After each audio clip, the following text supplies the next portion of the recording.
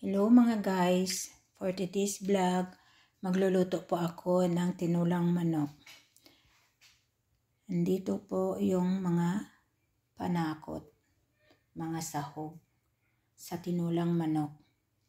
Ito guys, dahil wala akong sayote o kaya papaya, parang ano to yung gulay ng, iwan ko ano to guys, German sa German yan. Parang sayuti din siya. Tawag dito kohlrabi.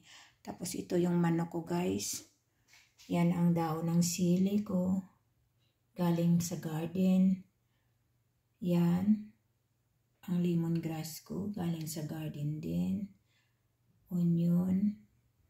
Konting uh, bawang at saka luya. Hindi ko na dinamihan guys yung ano yung ano nga to uh, bawang at saka luya. Tapos guys ito nagpapainit na ako ng uh, luto ano ko dito uh, anong tawag to kaserola o kaldero o whatever. Magigisa ako guys Tapos, lagyan ko ng konting mantika. Yan guys, tama na yan. Pagkatapos, mainit na. Ilagay ko na itong mga panakot ko guys. Una, kakamayin ko lang malinis naman yung kamay ko guys. Bawang. At saka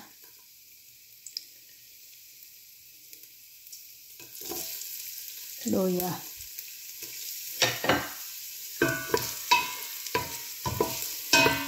Diba guys yung tinola may ano pa yan?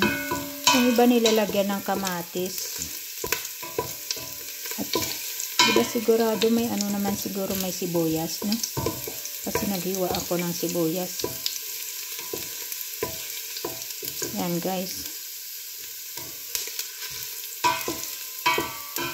Hintayin po natin na mag-brown-brown. Yan, guys. Okay? Tapos, ang sibuyas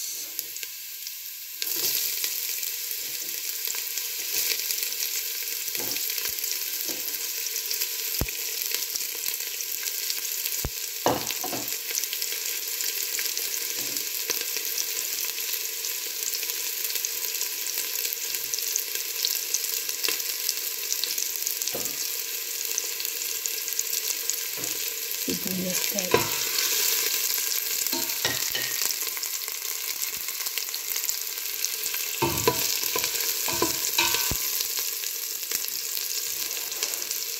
Sobrang init.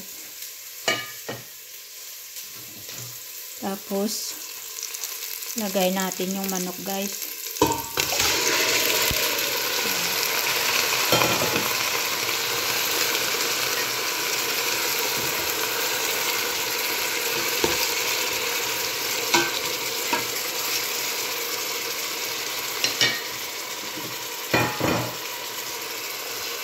Dito na lang siguro.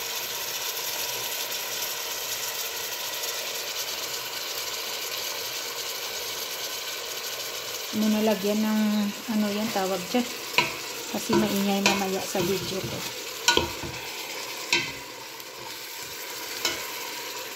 Lagyan ko guys ng paminta. Yan.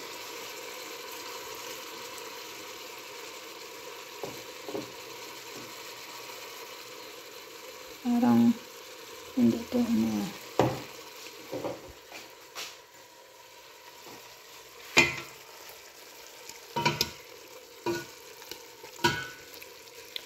palabas ko muna guys yung ano yung anong tawag to ah uh, ano palabas ko muna yung ano yung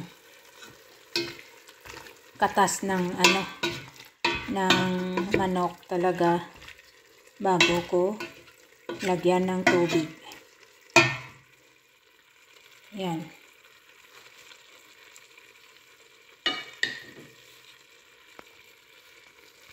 Takpan ko guys muna. Malaking kaldero talaga yung ginamit ko para sa sabaw. Dahil masarap guys ang sabaw lalo na ngayon ay malamig. Tapos pag maano na yan guys, ma ano nga tawag to? Uh, yung ano yung katas ng manok lalabas lalagyan natin guys ng tubig. Yung tubig na dito na para na mainit siya para mabilis ma mabilis ma maluto, mabilis bumula.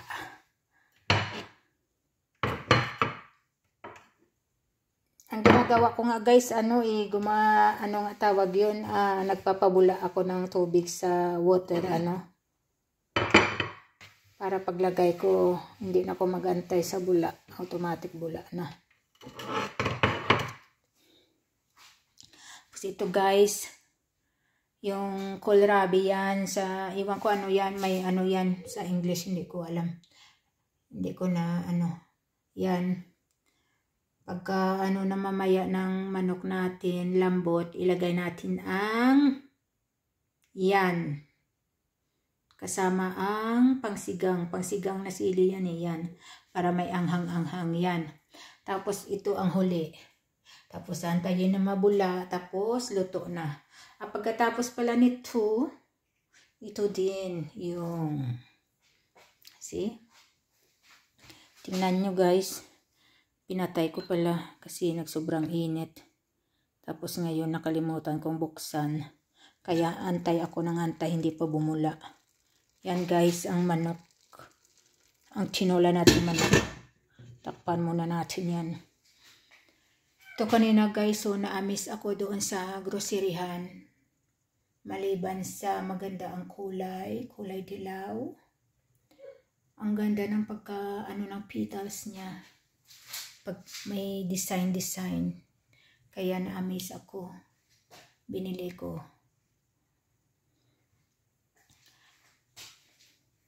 Tapos bumili din ako ng grapes. Mas gusto ko guys yung grapes na ano, ganito pula. Yung root. Yung red. Oo. Tapos ito luto na. Ito na lang yung natira sa binili kong mangga na Parang isang dosina. Tatlo kami kumakain. Tapos ito guys, nagsaing na ako kanina ng kanin. Yan o. Oh. Punong-puno ang rice cooker. Dahil mamaya, sabaw pala niya, palang yan, ulam na. Tapos gusto ko guys, ano, uh, ano siya, yung hindi siya mainit. Pag mainit yung sabaw, mainit ang kanin, parang hindi, ano, Walang lasa.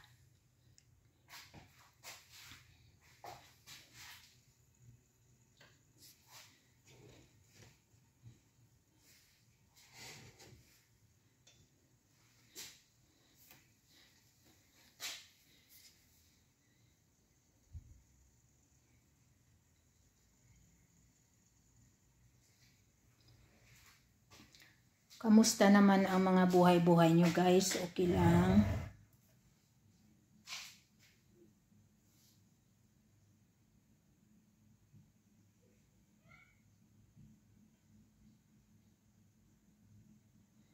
Tumatawa yung anak ko. Sa pinapanood niyang ano.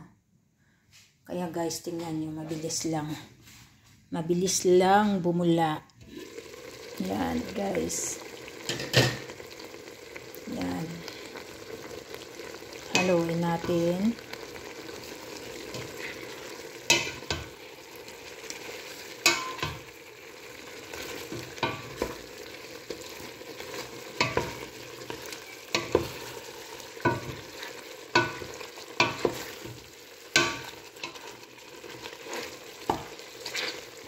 Pag matanggal na guys ang ano, ang katas ng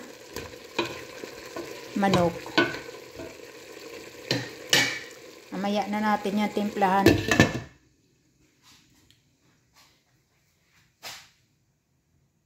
Lagyan ng asin. May ano pala ako doon yung parang ano siya, uh, magic sarap.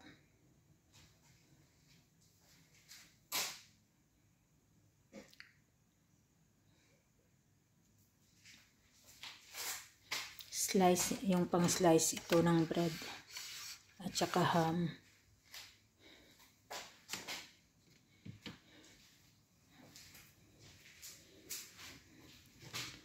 La la la la la la la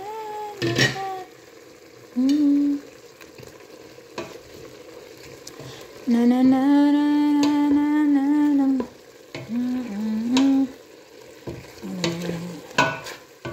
No coming back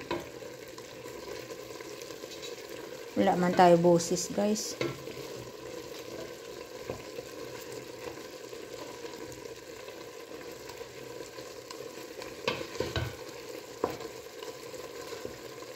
Yan.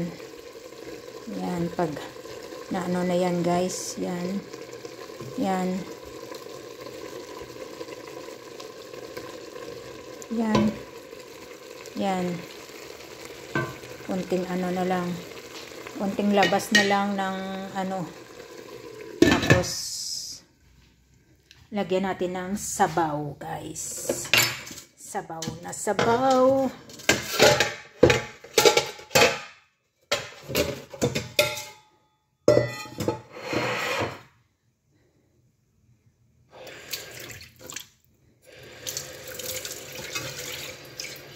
Linis naman to guys. Nilagyan lang to kanina ng manok. Ito. Kaya dito ko rin ilagay ang tubig niya. So, ayun yan guys, tubig. So, okay. Pagkatapos niyan, naglabas na lahat ng katas niya sa katawan, katas ng manok. Kaya guys, lagyan na natin ng tubig at saka palambutin. Yan guys, yan. Yan, sige, yan. Tama na siguro yan guys. Ang tubig niya. Diba? Tama na yan. Malaking kaldero yan eh. Ang importante, lumubog sila sa tubig.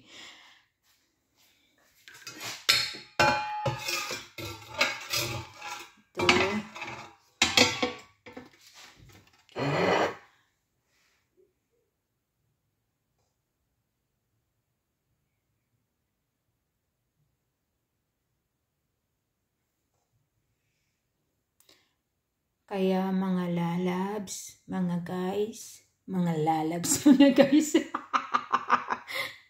Hanggang dito na lang ang vlog ko for today.